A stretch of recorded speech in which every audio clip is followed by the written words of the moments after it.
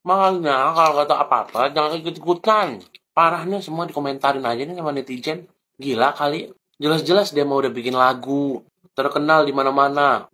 Gila-gila. Ini. Dah, jangan terlalu banyak nyinyir.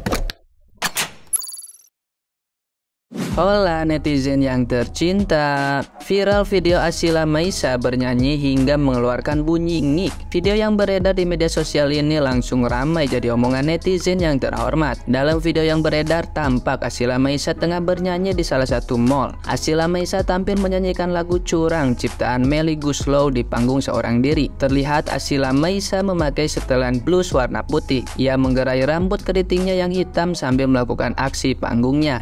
Namun suara Asila Maisa tampak berbeda. Pasalnya di setiap ujung bait lagu yang ia bawakan, ia mengeluarkan bunyi ngik. Asila seperti orang yang sedang cegukan karena bunyi ngik itu. Kendati begitu, ia tetap bernyanyi hingga bunyi diduga cegukan itu semakin terdengar jelas. Asila Maisa tetap melanjutkan penampilannya sampai akhir lagu. Semua penonton terlihat memberikan tepuk tangan atas penampilan Asila Maisa tersebut. Sayangnya, respon netizen yang berbakti tidak semuanya positif ada saja yang menilai bunyi ngik itu sebagai kesalahan Asila. Nah, gimana nih menurut netizen yang berbakti? Silakan berkomentar ya.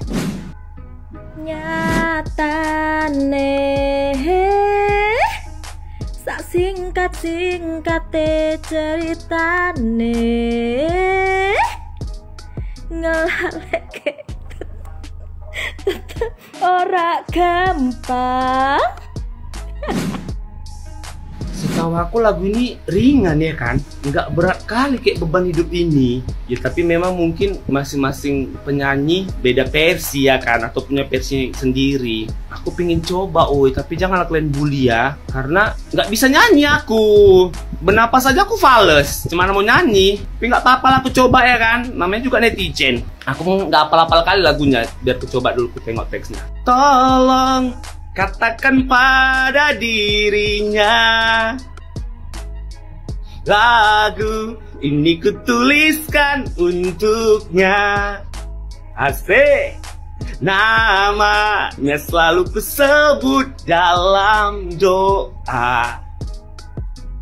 Sampai aku mampu Ucap maukah denganku? Kan jangan muntah kalian dengar suaraku ya aku bilang aku bernafas saja fales cuma lagi mau nyanyi.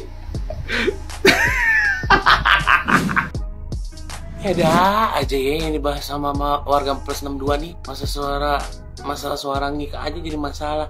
Udah penyanyi loh Yang nemuin dia itu sekelas Diva Dangdut. Siapa lagi? Banyak. Protes aja kerjanya. Itu namanya teknik Rizal Voice. Tau lo Rizal Voice? Kalau kita nyanyi ah, Itu namanya head voice. Rizal Voice itu atasnya lagi. Makanya kalau kata apa-apa jangan ikut-ikutan. Parahnya semua dikomentarin aja nih sama netizen. Gila kali. Jelas-jelas dia mau udah bikin lagu Terkenal di mana-mana. Ah, Gila-gila. Ini Dah, jangan terlalu banyak nyinyir.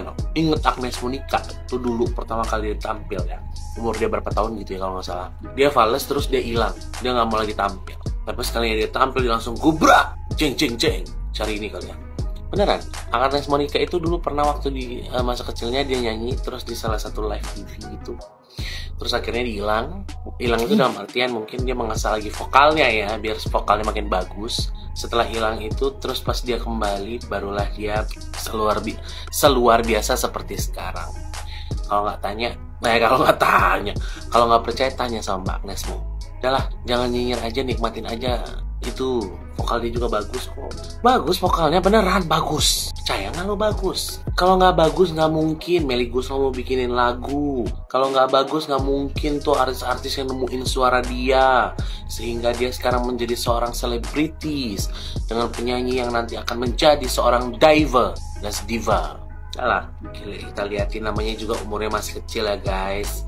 Nanti waktu tiba-tiba dia makin dewasa tuh suaranya pasti makin bagus. Udahlah, untuk netizen. Jangan terlalu komentarnya tuh pada pada gila semua tuh. Nggak boleh gitu. Lulit namanya. Bayangin jadi Ramzi sama itu Ami. Siapa sih? Avi udah ngeluarin duit banyak buat dia. Dukung aja dengan baik dan benar oke?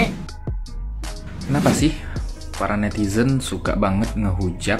Apalagi ini menurut gua ya, si Asila itu masih muda, umur 17 tahun. Ya wajar. Coba deh kalian flashback lagi cari video-videonya em, siapa ya penyanyi yang sekarang udah mateng? Rizky Febian. Kalian lihat deh video. Rizky Febian pertama kali nyanyi itu gimana? Pitch kontrolnya berantakan tempunya juga berantakan. Tapi sekarang udah bagus banget. Mau nada rendah mau nada tinggi. Tempo feelnya dapat banget. Nah mungkin juga buat kasus si Asila ini menurut saya ya butuh waktu.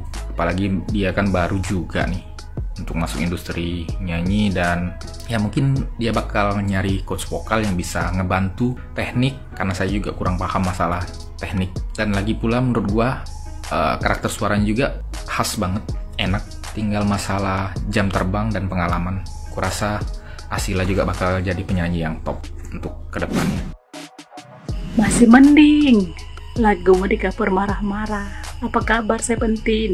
Lagu kemarin yang bercerita tentang kehilangan, kematian di cover dengan versi joget-joget. Sementara kita tahu kan, lagu itu bercerita tentang kehilangan, tentang kematian.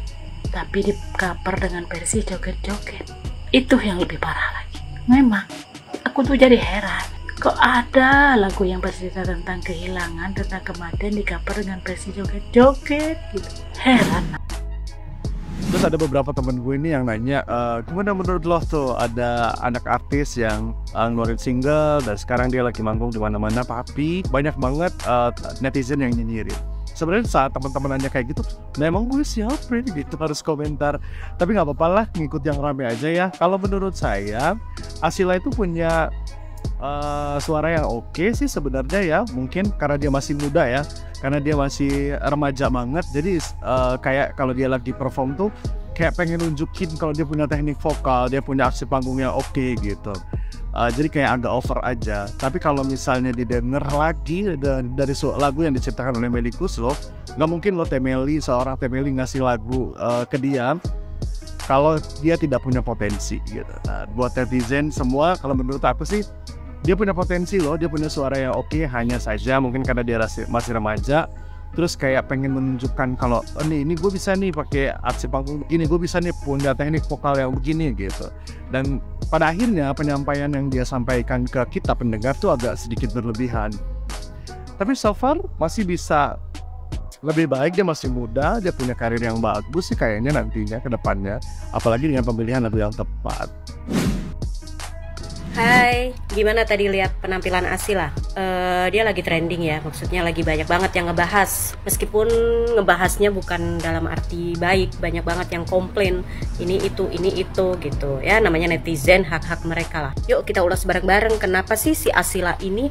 Kalau menurut saya nih, eh, kita apalagi saya ya, saya nggak ngerti cara menyanyi yang baik, aksi panggung yang baik bagaimana. Tapi saya tahu itu enak didengar, eh, enak dilihat, nyaman, kita enak, pokoknya enak deh kita ngelihatnya.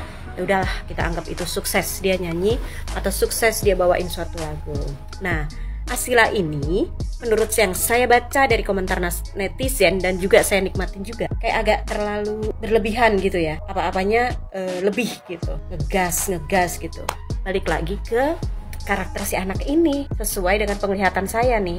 Dia itu anak tunggal dari eh, star ya maksudnya anaknya Ramzi public figure.